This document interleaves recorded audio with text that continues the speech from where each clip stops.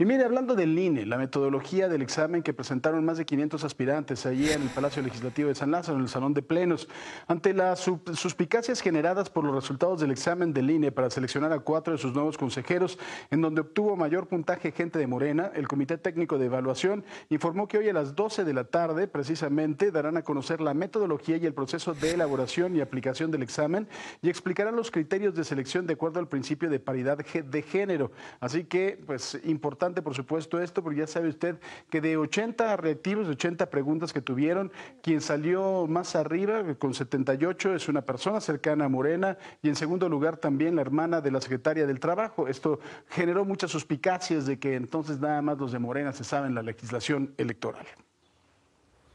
Por su parte, Ignacio Mier Velasco, el coordinador de Morena en la Cámara de Diputados, se deslindó de estas sospechas de que se hayan filtrado las respuestas del examen de conocimientos a los aspirantes afines de Morena que obtuvieron los mejores puntajes. Incluso añadió que ningún otro aspirante se ha quejado de que haya habido trampas o beneficios irregulares.